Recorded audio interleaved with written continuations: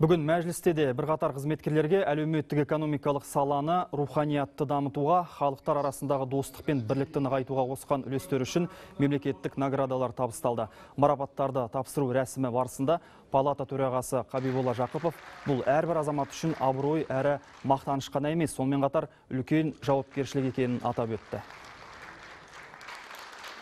Это возлагает на вас, на всех. Елбасының жарлығымен бекітілген наградаға қол жеткізу бәрімізге әрқашанда зор жауапкершілік жүктейді. Бүгінгі жарлықта аты аталған барша отандастарымызды, соның ішінде депутаттарымызды тағы да шын жүректен құттықтаймын. Мәжіліс төрағасы Ауғанстан Ислам Республикасы атқарушы билігінің басшысымен қазақстандық ауғанстандық ынтымақтастықтың басым бағыттарын талқылады. Абдулла Абдулла ауған халқына дер кезінде көрсетіліп жатқан көмектің маңыздылығын айтып, елбасына алғысын жеткізді.